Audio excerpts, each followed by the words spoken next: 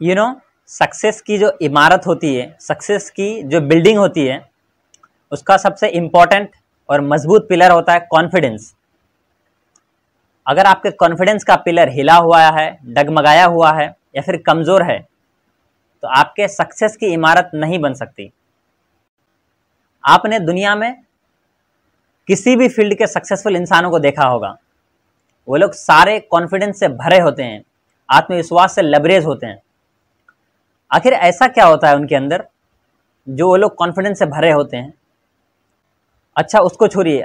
Confidence आखिर होता क्या है? कॉन्फिडेंस का मतलब क्या है? तो वीडियो को अंत तक ज़रूर देखना। आई बेट मैं गारंटी के साथ कह सकता हूँ कि आपने कॉन्फिडेंस से रिलेटेड इंटरनेट पर इससे अच्छा वीडियो नहीं देखा होगा।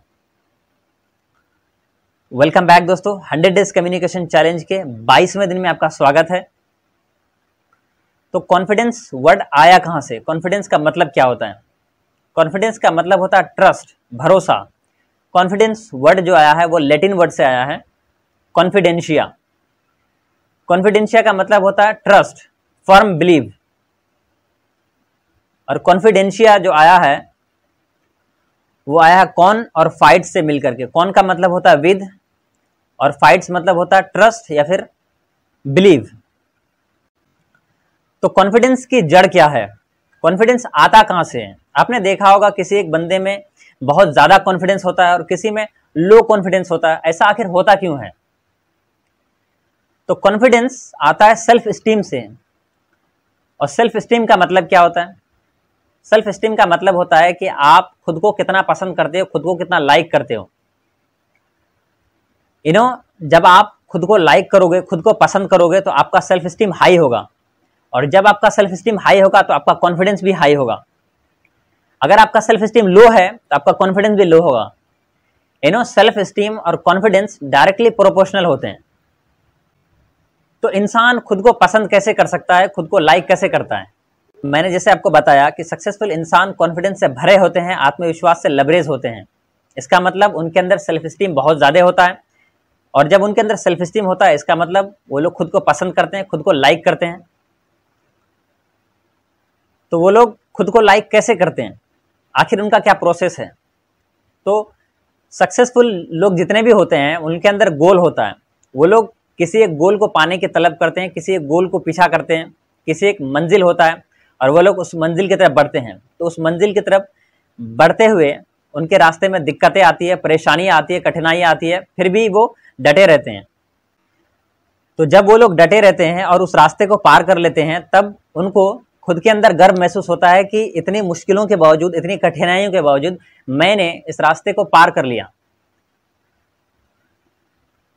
तो जब पार कर लेते हैं तो उनके अंदर गर्व होता है, उनको खुशी महसूस होती है। और जब उनको खुशी महसूस होती है अपने ऊपर तो वो लोग खुद को पसंद करने लगते हैं कि अरे, देखो मैंने इतना हार्ड काम कर लिया, इतनी मुश्किल काम कर लिए तो इससे उनका सेल्फ स्टीम बढ़ जाता है। और जब सेल्फ स्टीम बढ़ता है तो सेल्फ कॉन्फिडेंस भी बढ़ता है।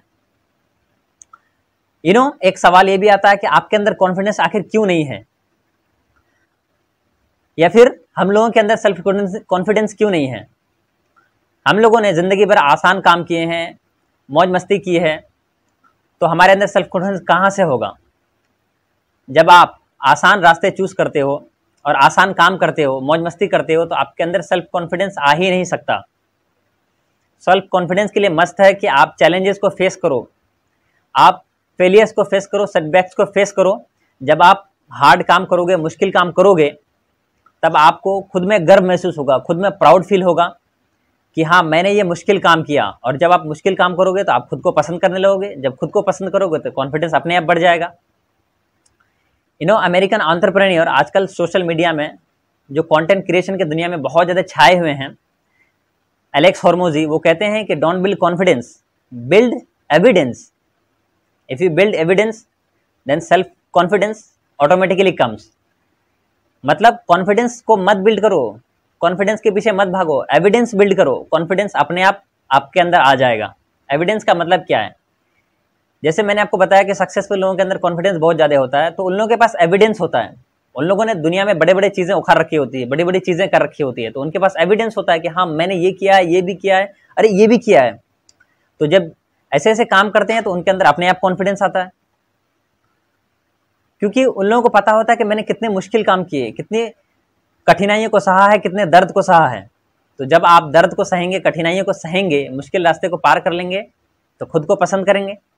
तो वो लोग खुद को इतना पसंद करते हैं कि उनके अंदर सेल्फ स्टीम बहुत ज़्यादा हाई होता है और उनका सेल्फ कॉन्फिडेंस बहुत ज़्यादा हाई होता है। तो अब आपके लिए एक्शनेबल स्टेप क्या क्या हैं? आप कैसे अपने कॉन्फिडेंस को धीरे धीरे बढ़ा सकते हो?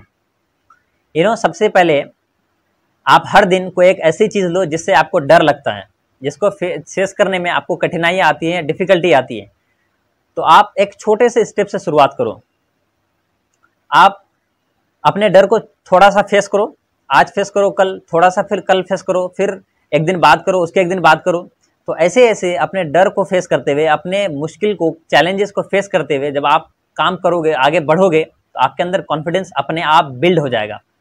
आप कॉन्फिडेंस के मास्टर बन जाओगे। तो शुरुआत एक छोटे से स्टेप से करो, उसके बाद धीरे धीरे धीरे करते जाओ। और ये गलती कभी मत करना कि एक ही बार में बहुत सारे लोग ऐसा करते हैं कि बहुत सारे बड़े स्टेप ले लेते हैं। अगर आप जब बड़ा स्टेप ले लोगे तो फिर आप पहले ही दिन डर जाओगे, पहले ही दिन आपका हालत खराब हो जाएगा। तो ऐसी गलती आपको नहीं करना है, आपको एक छोटे से स्टेप से शुरुआत करना है, तब बड़ा, बड़े स्टेप में जाना है, तब आगे जाना है। तो आज के लिए इतना ही दोस्तों। ये वीडियो आपको कैसा लगा कमेंट्स में ज़रूर बताएँ। और ऐसे ही वीडियोस को देखने के लिए इस चैनल को ज़रूर सब्सक्राइब करें और इस मेरे हंड्रेड डेज़ कम्युनिकेशन जर्नी को सपोर्ट करने के लिए इस चैनल को ज़रूर सब्सक्राइब करें और इस वीडियो को उन लोगों के साथ ज़्यादा से ज़्यादा शेयर करें जिनके अंदर कॉन्फिडेंस की कमी है और जो अपने कॉन्फिडेंस को बढ़ाना चाहते हैं। आज के लिए इतना ही।